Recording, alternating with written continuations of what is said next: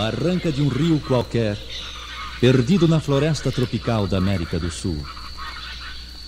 Amanhece, enquanto você prepara a canoa que o levará água abaixo, numa rodada por regiões bravias e desconhecidas. O chilro das andorinhas que tem ninho nos beirais do rancho onde você pernoitou é o derradeiro som que lembrará a civilização prestes a ser deixada para trás. Um impulso no barco e ele derivando pelo caminho que anda rumo da aventura que o espera a cada curva do caudal.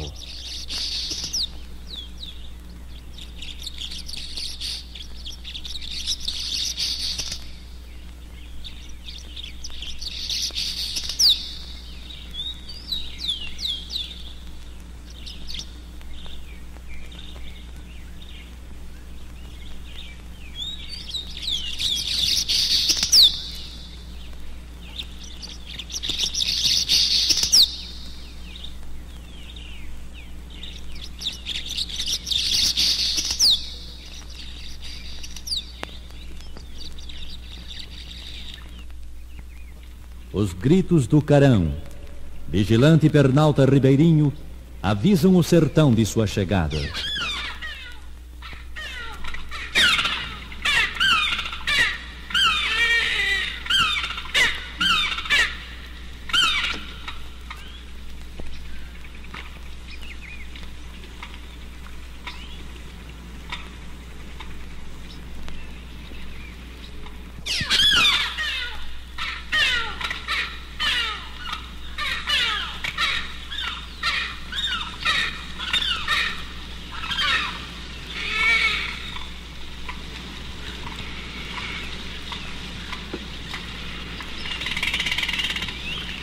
Sabiá Una, postado na primeira volta do rio, saúda com suas melodias de cantor emérito o dia que nasce.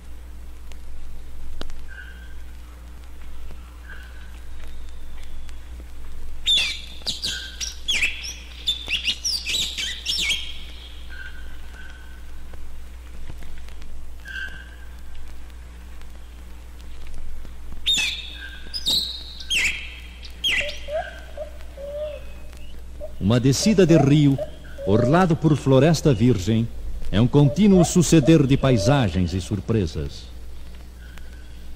À beira d'água, pulula a vida silvestre, representada por grandes e pequenos animais. Das copas das mais altas árvores, vêm os arrulhos fanhosos da pomba caçaroba.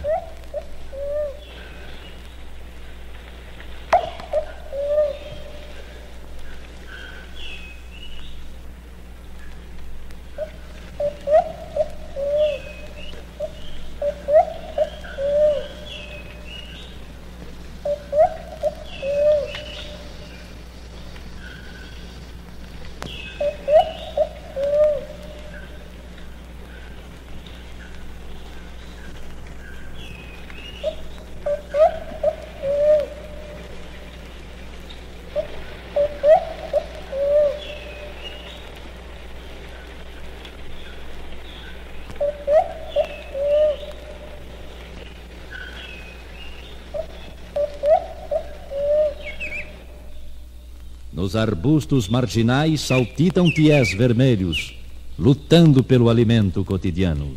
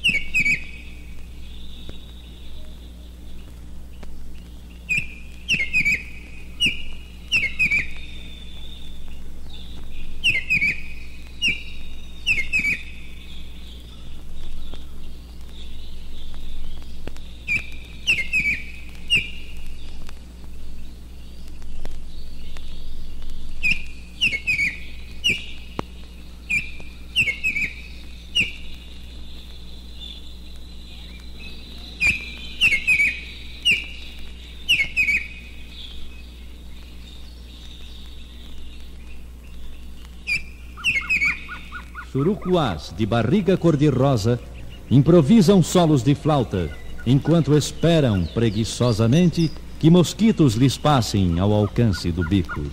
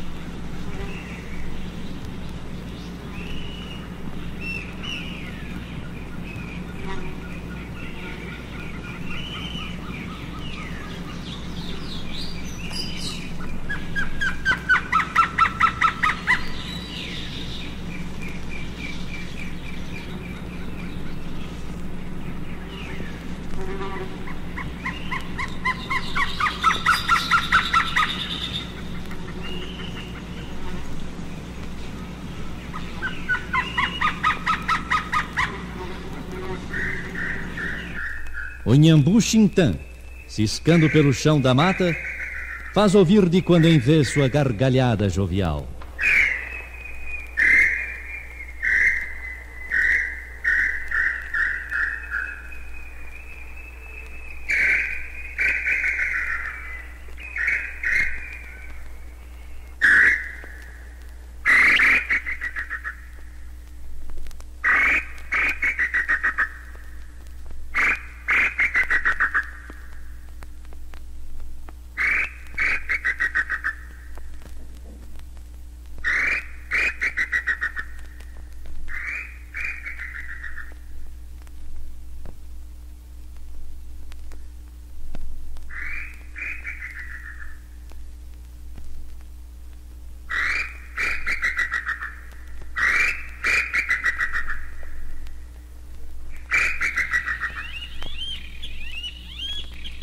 A saracura Sanã, mariscando nas margens baixas, brada seu canto pleno de alegria de viver.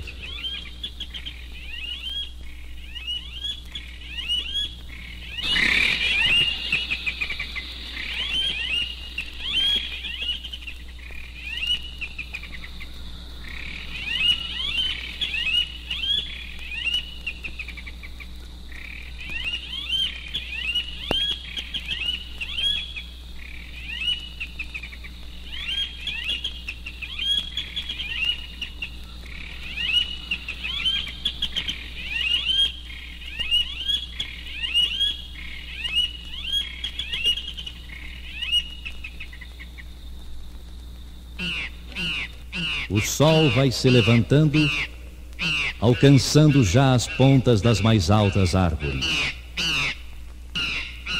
As águas adquirem revérberos metálicos, emprestando tonalidades estranhas ao azul das asas das gralhas que, aos gritos, cruzam o rio com seu vôo compassado.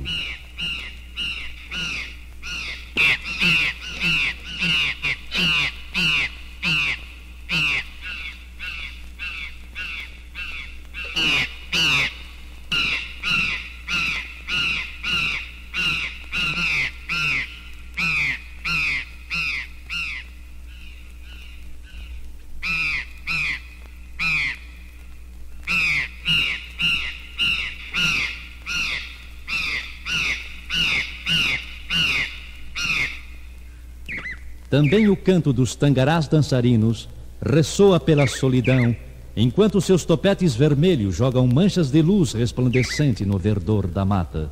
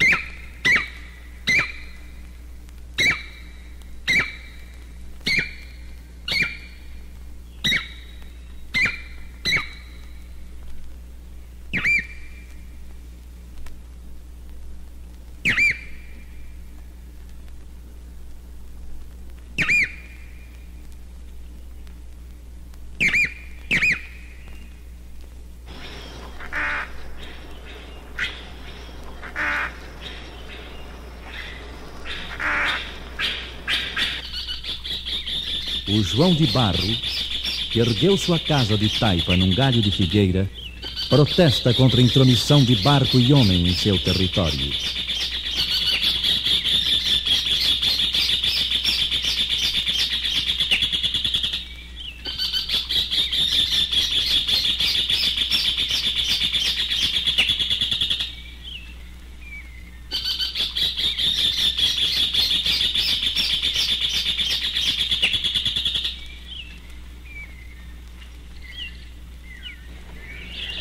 e um bando de saás, macacos de faces mongólicas e longa pelagem amarelada, surpreendidos na descida para o bebedouro, rompem seu ulular impressionante.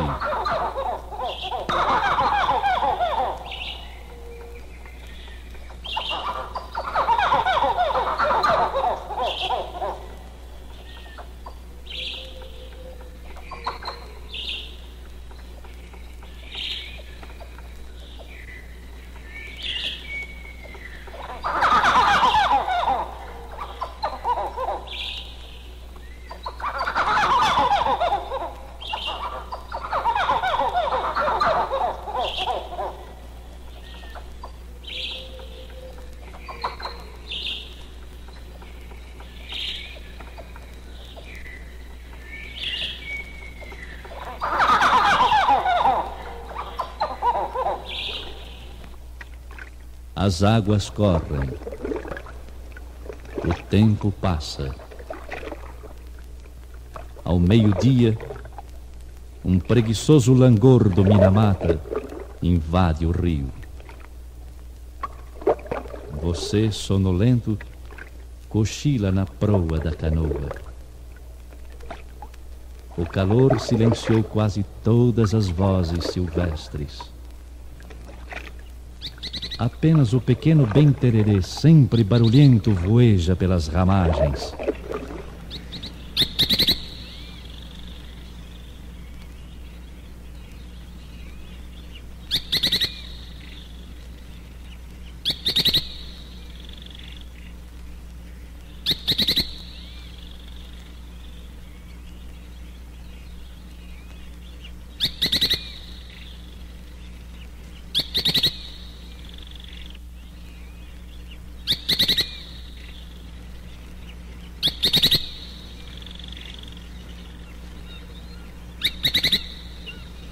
O Papa Formigas, incansável com os insetos que persegue, pipila revolvendo a folharada do chão.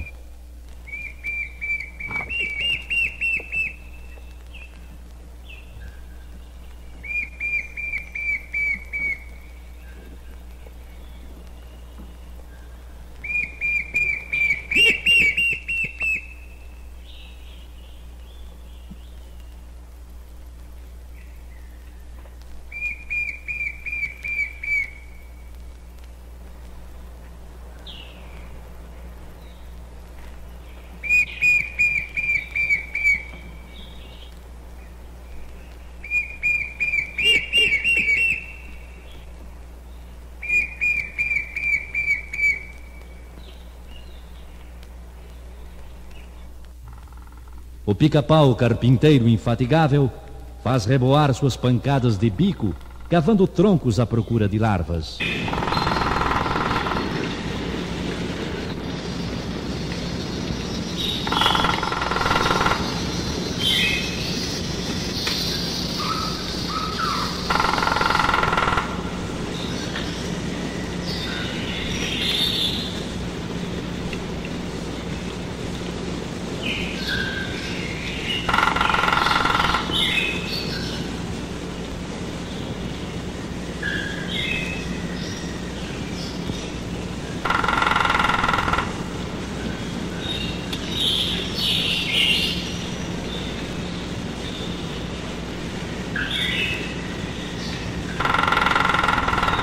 E a choca emite monótonos chamados.